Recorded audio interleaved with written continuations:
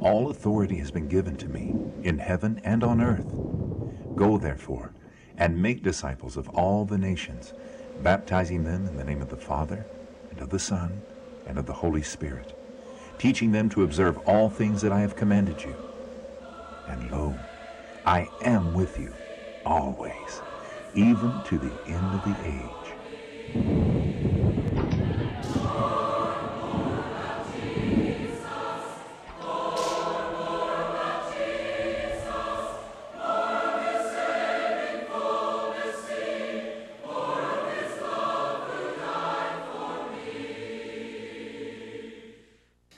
You ever sung that wonderful old song, Give Me the Bible?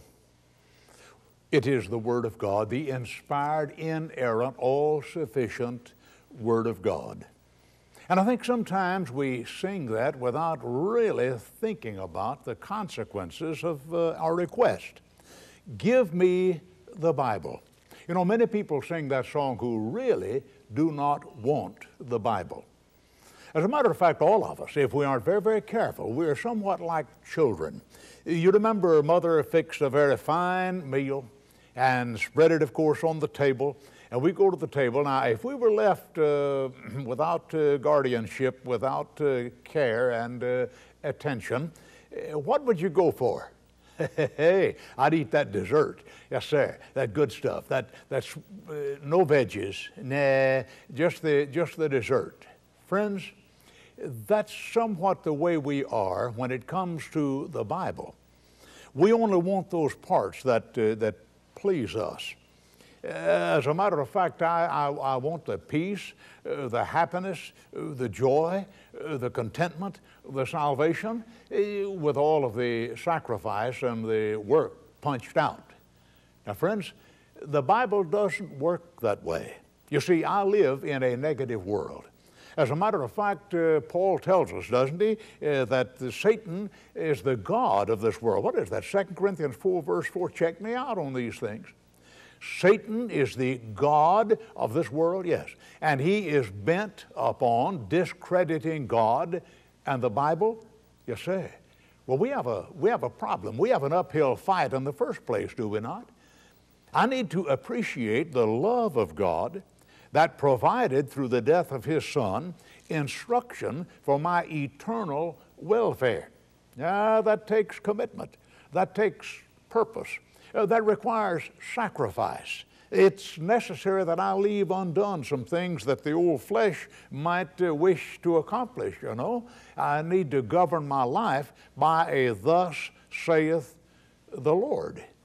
Too many of us are like Jehoiakim. You remember in Jeremiah chapter 36, uh, Jeremiah had the scribe pen the inspired word of God. Oh, and in those days it had to do with the invasion of uh, Jerusalem and the subjection of Judah to Babylonian captivity. Old Nebuchadnezzar came up and overran the city, but this is just prior to that. And Jeremiah is warning the people and instructing them as to how they could avoid the death and destruction of many, many people. Uh, but then, when Baruch had finished writing this as the scribe, it was read to the leaders of the people, the important uh, people, and they were uh, amazed. As a matter of fact, they were afraid. And they hid that uh, roll and they went before king, the king. And old Jehoiakim the king, hearing what they said, was disturbed. He said, Bring the roll and read it. Now he is sitting in his throne, and it's in the wintertime. There is a brazier before him with a fire in it to keep him warm. And when they brought the roll of Jeremiah, uh, written by Baruch, uh, the scribe, he heard a part of it, and then he took his penknife and he cut it up and he cut the pieces and threw them over in the uh, brazier and they were burned. Uh, many of us are like that. We pay no attention to God's word. We just simply chunk it out. Uh, like Jehoiakim, if we had a knife handy, we'd just cut it out. Or uh, many people might just as well take a pair of scissors and cut certain portions of God's Word out. You see, we only want that portion of God's Word which agrees with our preconceived ideas. Eh, wouldn't that be simple? Eh, so that's kind of thing, you know, the, the child, all dessert, yeah, the sweet stuff. Uh, never mind the veggies and that stuff that's good for you. It just give, friends, er, living the Christian life is not easy. The Lord made that clear in Matthew 7, 13 and 14, didn't he? What did he say? Narrow gate, straightened, uh, difficult way. Yes, sir. Uh, and Paul talks about girding up the loins of the mind. Uh, that's true.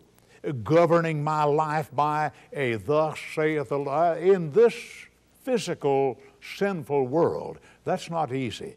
No, sir. It is difficult to walk the straight and the narrow way with the Lord.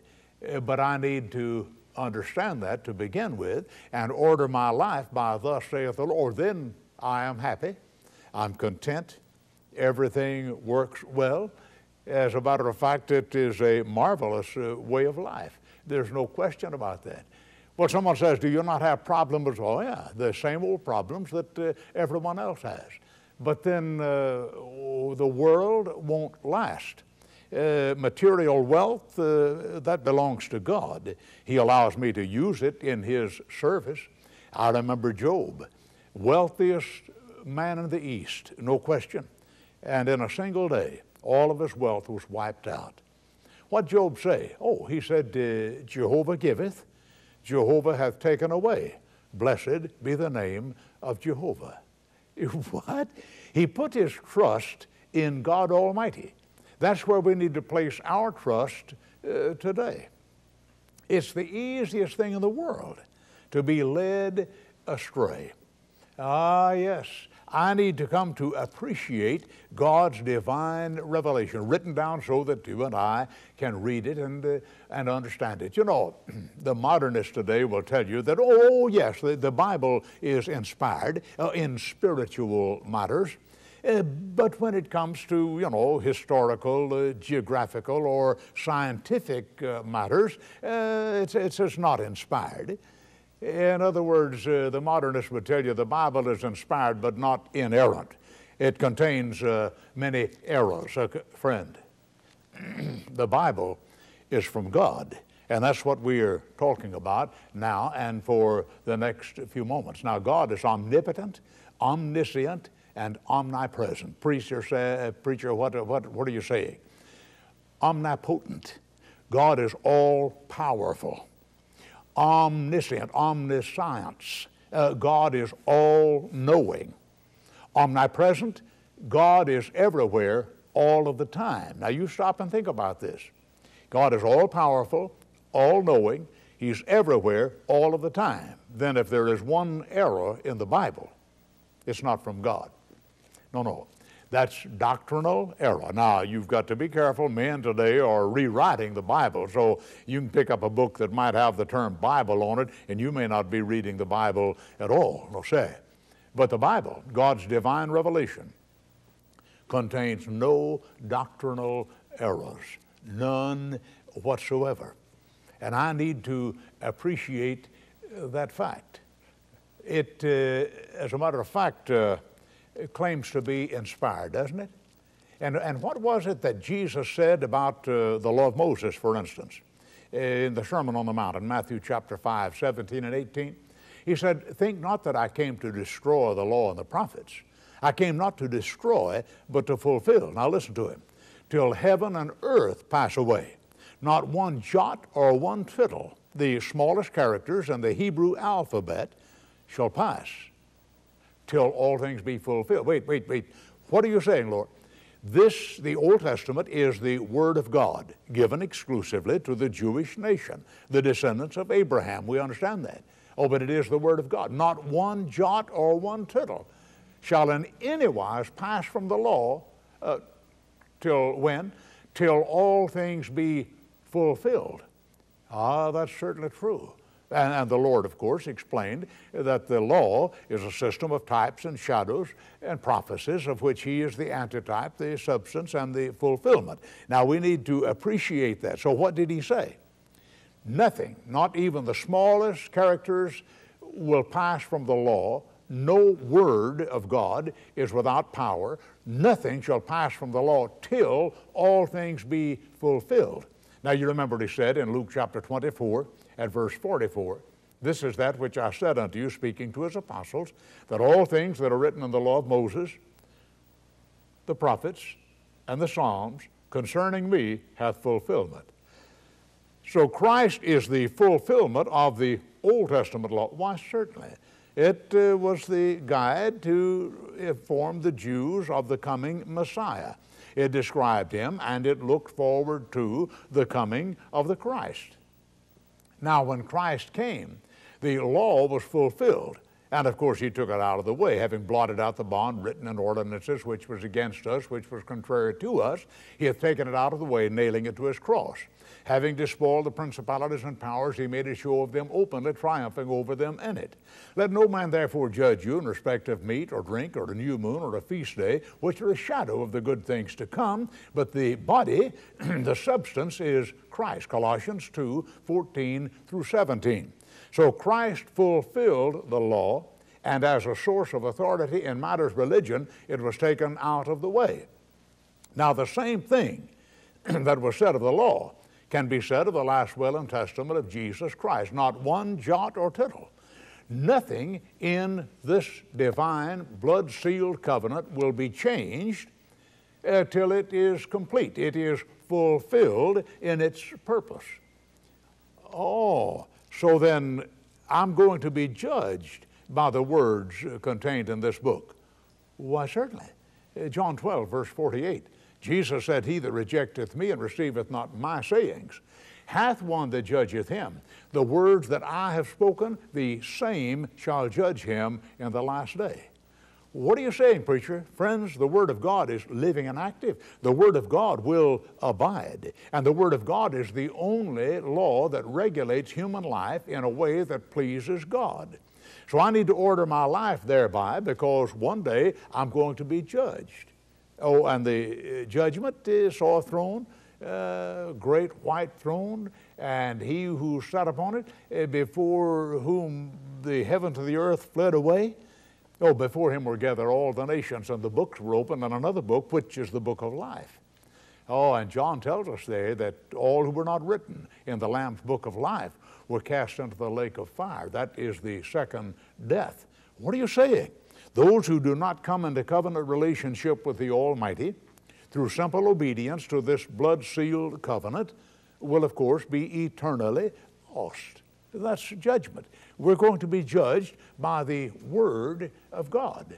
And I need to appreciate that fact.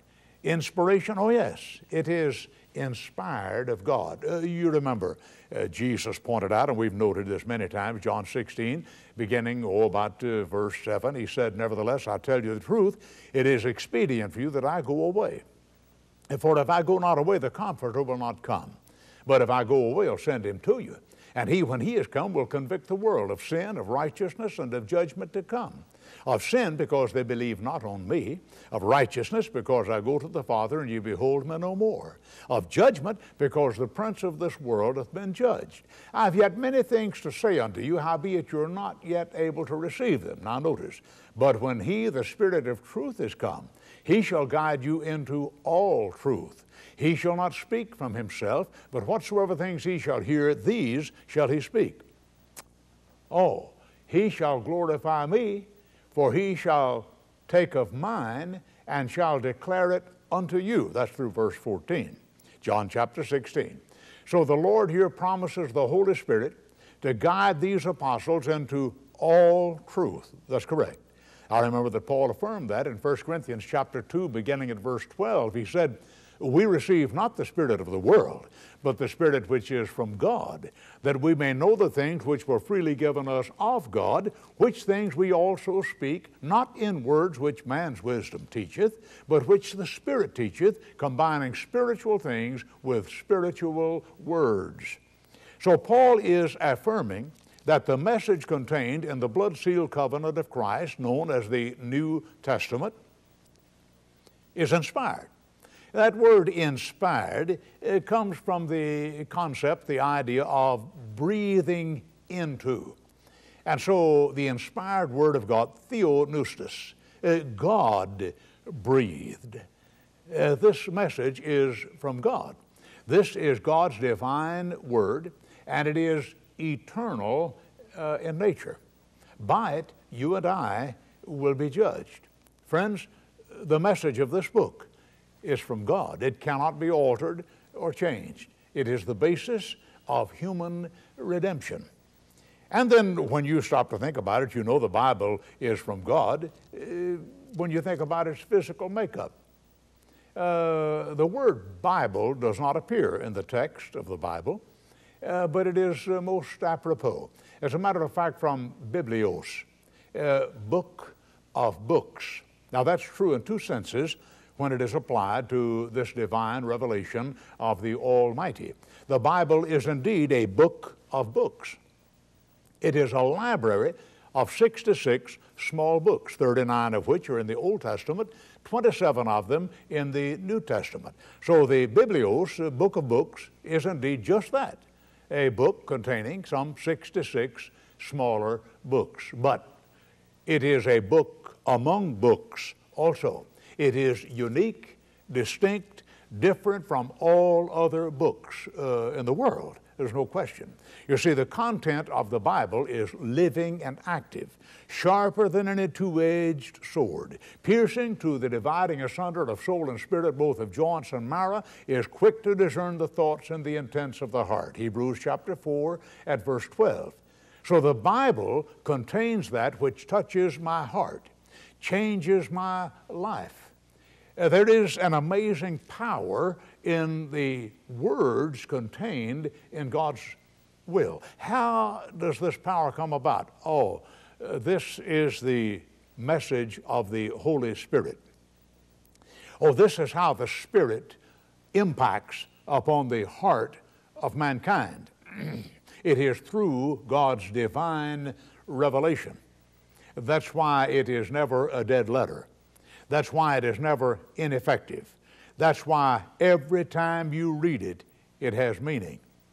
And in consequence, if you're reading the Bible, you're either better or worse. Depends upon your attitude toward what you have read. You know, we need to understand God's divine revelation. It is the fruit of His love toward us. You see, God made us. He knows exactly what we need. Now, we live in a sinful world. We are in a fallen estate. Yes, there are many propensities and appetites and drives of the flesh which can be turned into lustful desires if we aren't very, very careful. Oh, but that's what God's Word helps us to regulate.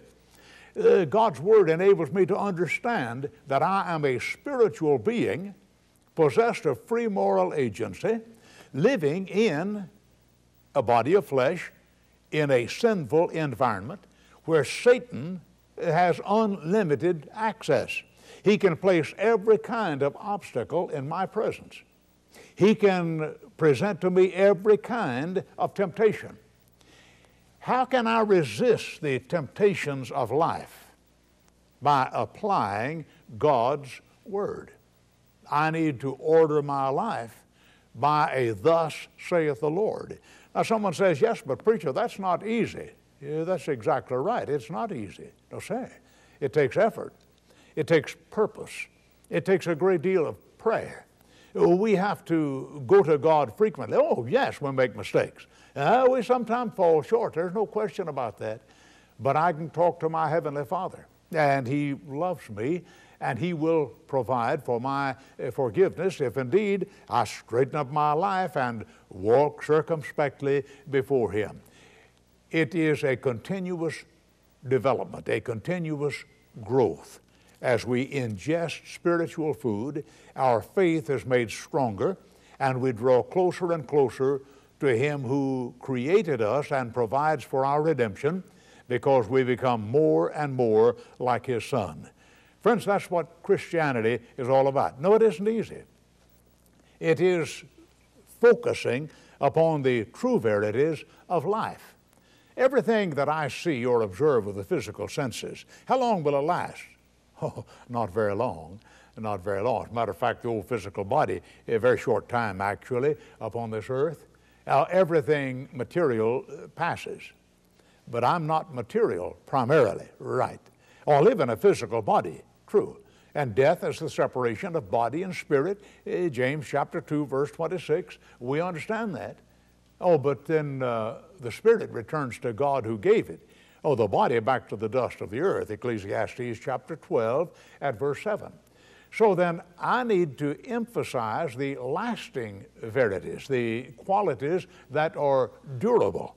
Uh, that's spiritual, not material, not physical. Friends, God's Word is amazing.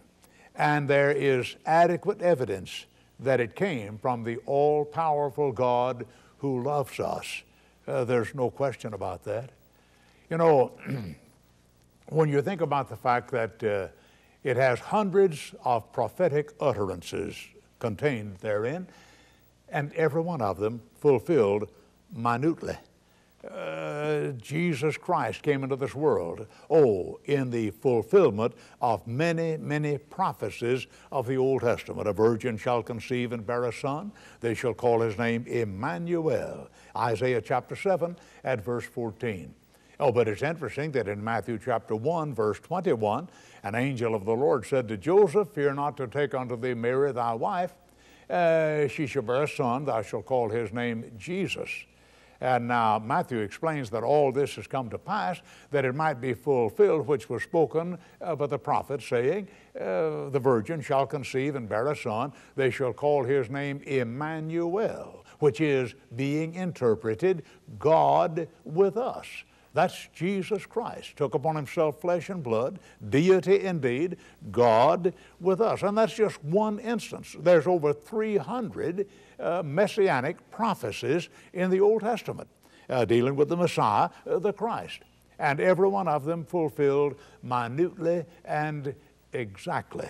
Uh, there's no question about this book being uh, from God. You know, its brevity is one thing that enables you to know that it is divine. The antediluvian world, 1656 years were involved. That is, the period of time prior to the great flood. Did you know it's covered in just five short verses? The first five, or chapters rather, the first five chapters of the Bible? 1650. How many volumes would man have written on, uh, in that period of time, especially when it deals with the origin of the universe, the creation of man, uh, man's uh, rebellion against God, growing exceedingly and more and more wicked, that finally resulted in his destruction in the flood. How much would man have, friends? It's all contained in five rather brief chapters in the book of Genesis. It is amazing. Now, God does not satisfy my curiosity. No, no.